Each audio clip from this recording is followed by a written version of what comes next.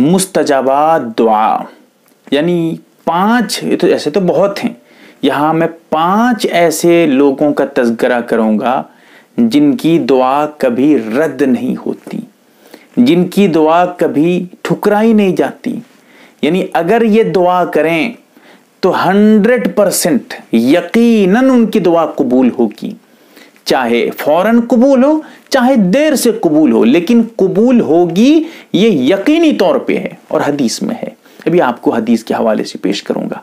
Number एक, मजलूम की दुआ, जिस पे जुल्म की, जो है किया गया हो, जिसको सताया गया हो, जिस पे, जो है सितम किया गया हो, जिसको दबाया गया हो, वो अगर दुआ करे उसकी दुआ यकीनन हंड्रेड परसेंट कबूल होगी। गारंटी है कि कबूल होगी। अभी कबूल ना हो, लेकिन कबूल होगी। बाद में देर से कबूल होने का रंग दिखे, लेकिन कबूल होके रहेगी। इसीलिए कभी किसी पे जुल्म मत करिए।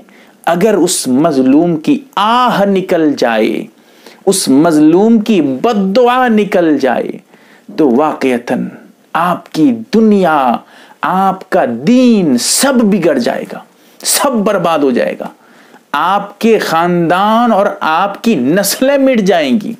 इसीलिए कभी किसी पे जुल्म मत करिए, किसी मजलूम की बदुआ मत लीजिए। और ये जो कह रहा हूँ कि मजलूम की दुआ कभी रद्द नहीं होती, ये बुखारी शरीफ में मौजूद है। नंबर दो, मुजतर की दुआ, यानी मुसीबत जदा, जिस पे मुसीबत आई हो। मुसीबत बहुत तरीके की मुसीबत हैं। जैसे किसी की औलाद वफात कर पा गई हो। अब उस के माँ बाप जो साहिब औलाद थे, जो औलाद के परवरिश करने वाले थे, वो जब दुआ करते हैं, यानी किसी तरह की मुसीबत, ये तो औलाद की मिसाल मैंने दी है।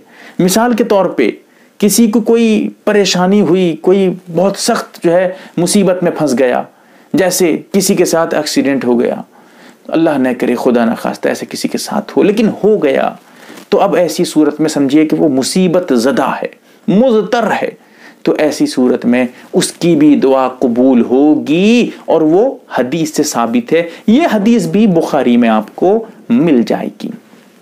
नंबर तीन, वालिदैन की दुआ औलाद के हक में।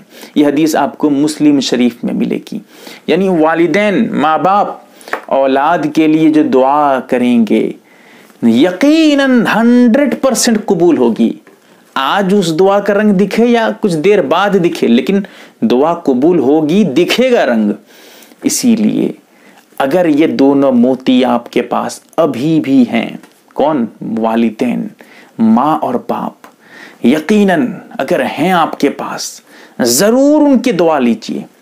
दिन में दस मरतबा उनसे कहिए कि अम्मी जान मेरे लिए दुआ कर दीजिए अब्बा जान मेरे लिए दुआ कर दीजिए उनकी दुआएँ बार बार लीजिए, क्योंकि हदीस में नबी करीम सल्लल्लाहु अलैहि वसल्लम फरमा रहे हैं, वालिदैन अगर औलाद के हक में दुआ करें, वालिदैन अगर औलाद के लिए कुछ चाहें और दुआ करें अल्लाह से, उस दुआ को अल्लाह ताला कभी अकारत नहीं करता, कभी उस दुआ को रद्द नहीं करता है। देखिए कितनी बड़ी नेमत हमारे पास है, वालिदैन की, जो हमारी ज़िंदगी बदल देती है। कारोबार में तरक्की नहीं, वालिदैन से जाके दुआ कराइए।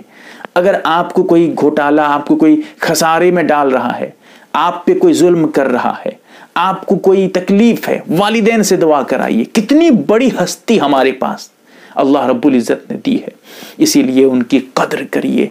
कभी भूल से भी उनकी बदवा मत लीजिए, ज़िंदगी तबाह हो जाएगी। नंबर चार, इफ्तार के वक्त की दुआ। जब आदमी इफ्तारी करने के लिए तैयार रहता है, उस वक्त जो दुआ करेगा, उसकी दुआ कभी रद्द नहीं होती है। उसकी दुआ कभी लौटाई नहीं जाती है, हंड्रेड परसेंट कबूल होगी। यह हदीस आपको तिरमी शरीफ में मिल जाएगी। वजह उसकी उसकी वजह बहुत सी वजह है। एक वजह समझ लीजिए।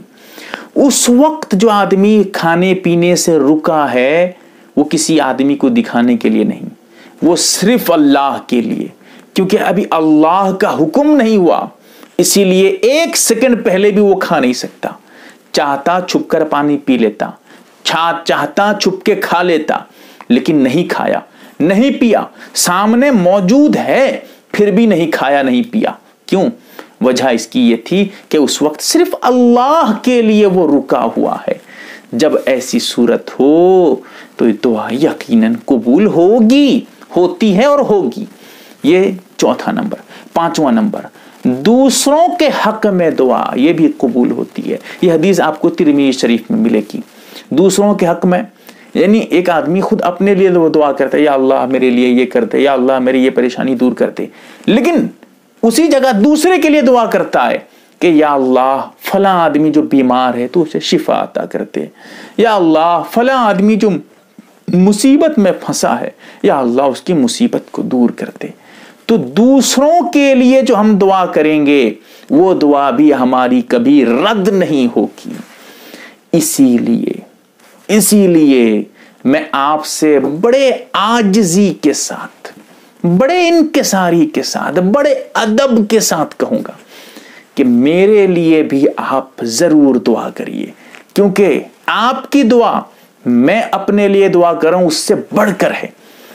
और इसी तरह, तमाम आप, तमाम नाजरीन, तमाम सामीन तमाम अहले इस्लाम के लिए दिल से दुआ है कि अल्लाह ताला सबको खुश रखे, सबकी दुनिया और आखिरत बनाते। सबके लिए। इसीलिए अपने लिए दुआ करें, दूसरों को भी दुआ में शामिल करें और जिससे मुलाकात हो, किसी मुसलमान भाई से सलाम कलाम हो, रुखसती के वक्त हो, जब भी हो, उससे भी दुआ की दरखास्त करें। क्योंकि अगर वो आपको दुआ देगा, समझिए वो दूसरों के लिए दुआ कर रहा है तो दुआ रद्द नहीं होती है। बड़ी पॉइंट की बातें हैं, पाँच बातें। इसके अलावा भी बहुत से ऐसे अफराद हैं यहाँ मैंने मोटी मोटी बातें जो ज़रूरत है उसको पेश करने की कोशिश की है। अल्लाह ताला हमें समझने की तौफीक दे, अमल की तौफीक दे। आमीन, या रब्बल आलमीन। मोहतरम नाजरीन व सामीन आप एक मोतबर व मुस्तनद चैनल यम आर बी दीनी मालूम देख रहे हैं। आपकी खिदमत के लिए बहुत तहकीक और रिसर्च करने के बाद इसमें वीडियो डाले जाते हैं। अल्लाह से दुआ है, ये चैनल इस्लामी ज़िंदगी में आपके लाहद काम आए। आमीन।